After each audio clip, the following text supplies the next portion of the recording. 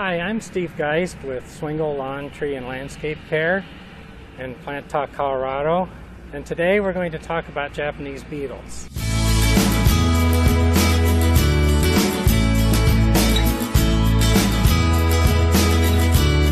Here we have a rose that is infested with adult Japanese beetles feeding on the rose buds.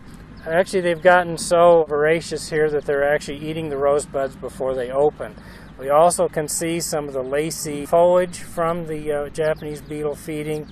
The Japanese beetles will feed in between the veins of the leaf. Uh, Japanese beetles are a pest of landscape plants, uh, flowers, shrubbery, trees, and also lawns. Some people believe that they can purchase Japanese beetle traps, hang them up in their landscape, and that will control the beetle.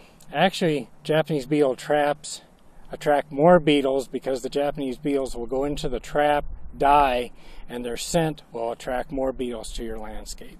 Other ways to treat Japanese beetles, you can actually hand pick them off the leaves or shake the plant material and dislodge the beetles and have a bucket of soapy water underneath the plant for the beetles to drop down into and die.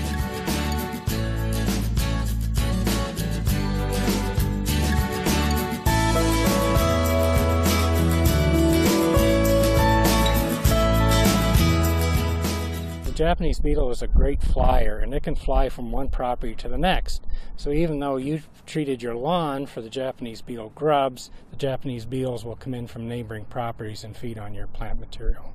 When treating your lawn, uh, the best uh, insecticide treatments are granular products uh, and many of these products are also uh, can be impactful to pollinators especially lawns that have clover in them and also dandelions are, are, heavily visited by bees. So your best management practice when treating a lawn is to first mow off all of the uh, flowers in the lawn prior to doing your uh, insecticide treatment.